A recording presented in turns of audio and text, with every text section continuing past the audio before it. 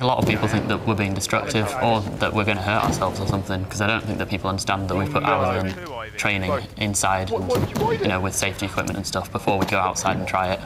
Oh, get the. Alex, Alf.